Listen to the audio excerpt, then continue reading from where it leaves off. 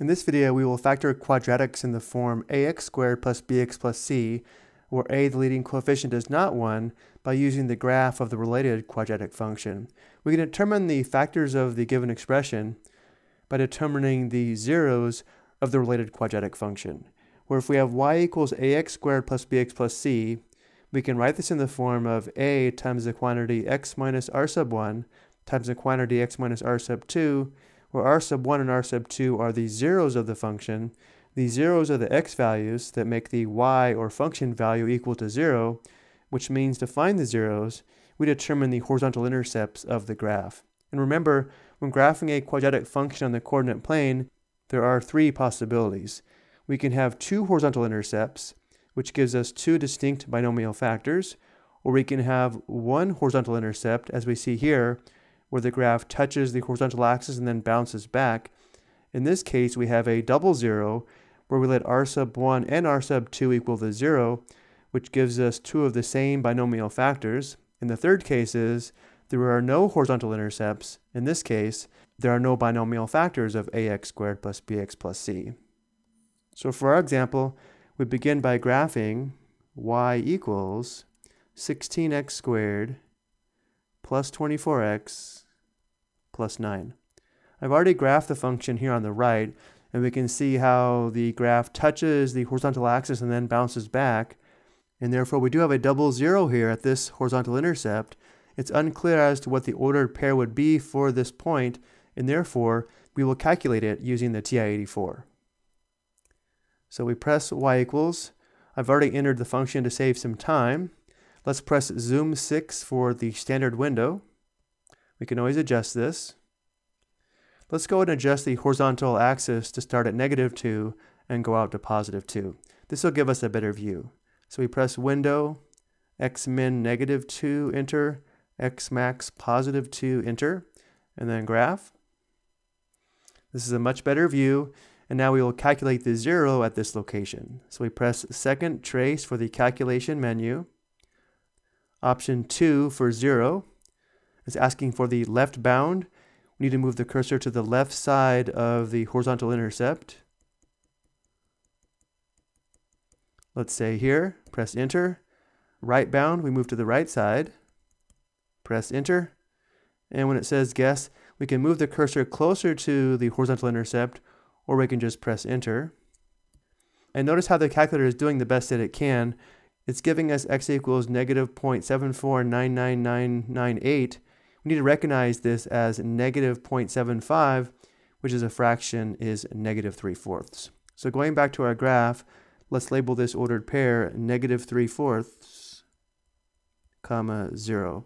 And again, because of the behavior of the graph, we let r sub 1 and r sub 2 equal negative 3 fourths. So to write the given expression in the form a times the quantity x minus r sub 1 times the quantity x minus r sub 2, we know that a, the coefficient of x squared is 16, r sub 1 equals r sub 2, which is equal to negative 3 fourths. So performing the substitution gives us 16 times the quantity x minus negative 3 fourths simplifies to x plus 3 fourths then we have another x minus negative 3 fourths, which again gives us x plus 3 fourths. Now, while this could be considered factored form, we normally don't leave fractions in the binomials. Because we have a denominator of 4, we can clear the fractions from the binomials by multiplying each of the binomials by 4, and notice 16 is equal to 4 times 4. So let's rewrite this as 4 times the quantity x plus 3 fourths times 4 times the quantity x plus 3 fourths. We still have 16 and we still have two factors of x plus 3 fourths, but now we can clear the fractions by distributing 4 here and distributing 4 here.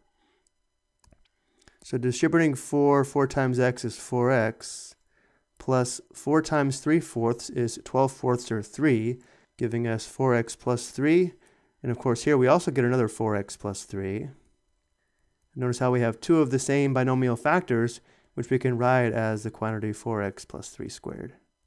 So because we have two of the same binomial factors, the original expression is a perfect square trinomial. Now let's look at the second expression. Again, we need to graph y equals 18x squared plus 21x minus 4, which I've already graphed here. Notice how we have two distinct horizontal intercepts, which means we have two distinct zeros. But again, it's unclear as to what these ordered pairs would be, so we'll have to determine them on the graphing calculator. Let's press y equals, clear the old function, enter the new function,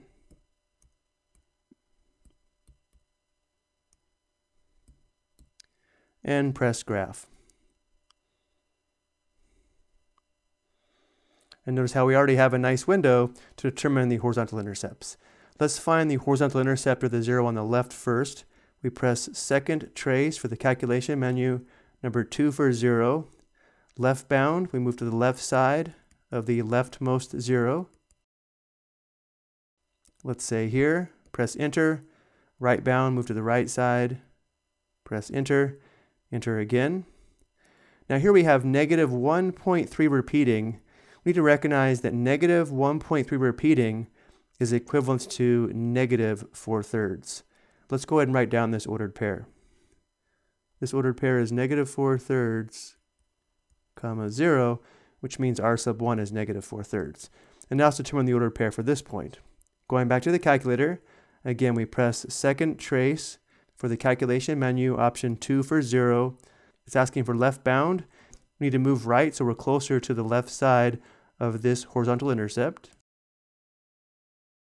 Let's say here we press enter, right bound move to the right side, press enter, enter again. Notice the zero is 0.16 repeating. We may not recognize this decimal, so what we can do on the calculator is go back to the home screen by pressing second mode and enter 0.1 and then a bunch of sixes.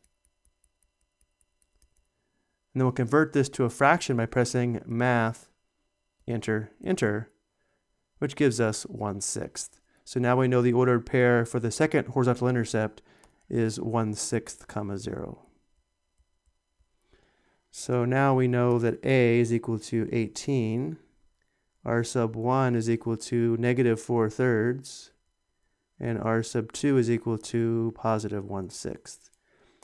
So in the form A, times the quantity x minus r sub 1 times the quantity x minus r sub 2, the expression is equal to 18 times the quantity x minus negative 4 thirds becomes x plus 4 thirds. And then we have times the quantity x minus r sub 2, which is x minus 1 sixth. Again, this could be considered factored form, but we normally don't leave fractions in the binomials. So we're going to multiply the first binomial by 3 and the second binomial by 6. And notice that 18 is equal to 3 times 6. So let's write this product as 3 times the quantity x plus 4 thirds times 6 times the quantity x minus 1 sixth. Again, we still have 18 here, and now we'll distribute 3 here to clear the fraction of 4 thirds, and distribute 6 here to clear the fraction of 1 sixth. 3 times x is 3x, plus 3 times 4 thirds is 12 thirds or 4. Now we distribute the 6. 6 times x is 6x minus 6 times 1 sixth is 1. We now have the common factored form of the given quadratic expression.